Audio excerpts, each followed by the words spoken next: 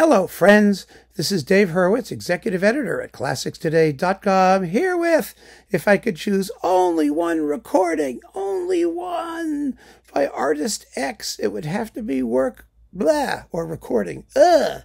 Well, Artist X is the great Italian pianist Arturo Benedetti Michelangeli, the one, the only, the terrifying Michelangeli. And the recording in question, and we have the total assent of Mildred. There she is. Mildred, you agree with me? You think so? Yeah? Yeah, Mildred agrees. And that's really important because I, I do nothing without Mildred agreeing. Uh, okay, so what do we got here? Yes, it, it is this thing Debussy, Image 1 and 2, and Children's Corner. I have to tell you a story about this and how this this came to be. Now, of course, this choice has absolutely nothing to do with my personal preference. It is an objective and completely dispassionate selection, as is always the case with my criticism. But Children's Corner, well, when I was a kid learning to play the piano, I had friends who were much better than I who could play Children's Corner. And I heard it and fell in love. And I said, I am going to play that. I am going to play that if it kills me. I am going to play it if it drives my family insane, which it just about did, actually. Uh, first of all, uh, it begins with you know Dr. Gradus ad Parnassum, you know like that. Right? I loved it because your left hand is just going ba-dum, and it doesn't do very much in this first piece. It's all up here.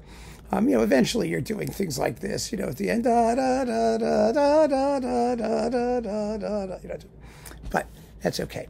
I learned to play that. I said to my piano teacher, look, this is what I want to do. Whatever else you teach me, this is what we're going to work on. And I worked on it. I worked on it for like a year. I don't know. And, and I, I played it. I played, well, I played all of it except the snowflakes are dancing because the snowflakes are dancing has the melody in the middle of this chugga chugga chugga chugga chugga chugga chugga chugga chugga chugga chugga and like octaves between the two hands. Like I, I, never I never had the felicity to be able to do that. All the rest of it I could play. Jimbo's Lullaby, no problem. Serenade of the Doll, well, that was a workout. Do do do do do do do do. Okay, and, but but oh oh Golliwogg's Cakewalk, that was the piece that drove my family crazy you know, da da da da da da da da da da da da da. I would just sit there, banging at the piano, going um da da da da da da da da. It's actually not that. That's how it sounds. Da dum ba dum ba. But you actually have to distribute the, the, the touch between your your hands rather carefully because the melody is ya da da da dum bum da da da da dum bum bum bum bum bum. So you hear da dum ba dum bum ba dum ba dum because the those accessory notes da dum mm, da dum dum are are part of the accompaniment chords and so there's balance issues. There's artistry involved in playing that. And I was so proud of myself that I was sort of getting myself around the artistry part. And then I heard this and I quit playing the piano then and there because I just went, oh my God. And it right away told me what was so amazing about Michelangeli because Michelangeli has a reputation for being, as an interpreter, absolutely as cold as ice. I mean, you know, there's not a shred of human feeling in anything he did. I mean, that's not true. But, but, uh, you get that impression. The reason you get that impression is because his his level of technical prof- perfection was so profound, was so complete that the control was so absolute that you couldn't believe that there was like a human being buried under all of that perfection somewhere.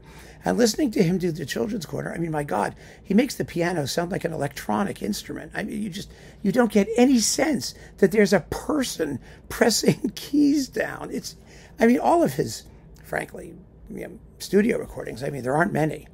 But most of his studio recordings are like that. I mean, the concerto recordings he made, the famous Ravel G major, and then those Beethoven things he did with Giulini, are a bit more bizarre because you have an, an orchestra and a conductor, and there he is doing the Michelangeli thing there with Beethoven of all people, And either you find it totally alienating or completely fascinating. I mean, the Ravel is a different case because Ravel is as much of a perfectionist and precision composer as Michelangeli was a performer.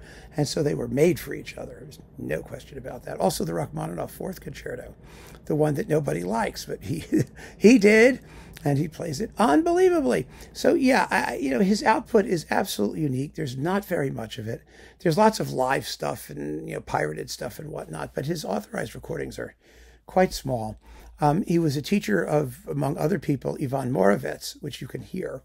Um, and Moravec is playing too, which has a similar, you know, care for timbre and touch and sound with a little bit more, you know, human warmth attached to it. But Debussy's music is it's pictorial. It's not it's not romantic in the sense that you want to hear, you know, uh, billowing gouts of personalized passion. That's not what you get in Debussy. You have these wonderful sketches. And of course, the images are, I mean, they are pictorial little pianistic tone poems. Even the abstract ones, like Mouvement, the last of the first set, it's, it's extraordinary just listening to his feeling for touch and sound and sonority and, and, and goldfish, poisson d'or, and Et la lune descend sur le temple qui fut. I mean, what the hell is that going to sound like anyway? It's all amazing just amazing. I mean, his two books of preludes are also fabulous. His Debussy was sui generis. It was another level in Debussy pianism at the time that it was released. Since then, of course, there's been tons and tons of great Debussy piano playing. It was about as different from Walter Gieseking as you could be. Still have the same composer at work. Uh, it's just it's just an amazing disc. It really is. And if I had to go to the evil god Kangarzans and say, "Listen to this," he would say to me, oh, wow, I got to hear everything else this guy did because it's like nobody else. And that's the point, isn't it? It's extraordinary stuff. So, if I had to choose one recording by Michelangeli, it would be this one. And not because it was the recording which quite wisely told me that I would never be a pianist.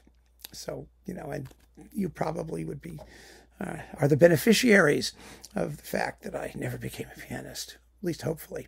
So keep on listening, friends. Thanks for joining me. Take care.